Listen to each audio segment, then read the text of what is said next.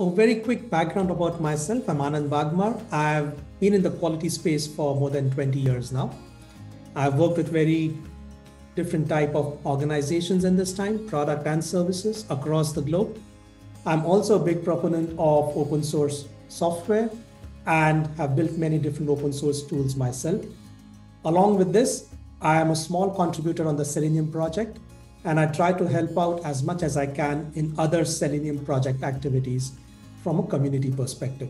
And I've made a lot of mistakes in different roles that I've played. What I'm hoping is that I have learned from those mistakes and tried to get better and avoid repeating the same mistake every time.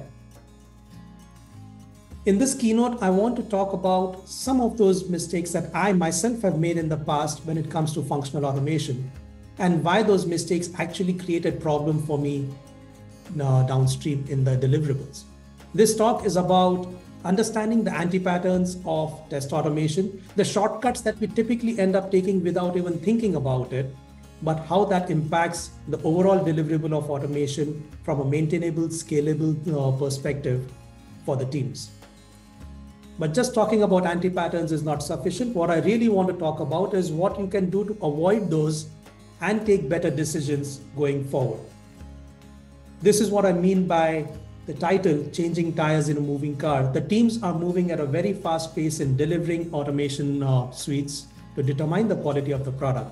But in the process of that fast pace, they're trying to maintain and make sure the framework continues to go and give the value as it's expected. And it's not a good uh, situation to be in. I hope this talk gives you some insights how you can avoid those anti patterns and take better decisions from the first step itself and make this valuable for you.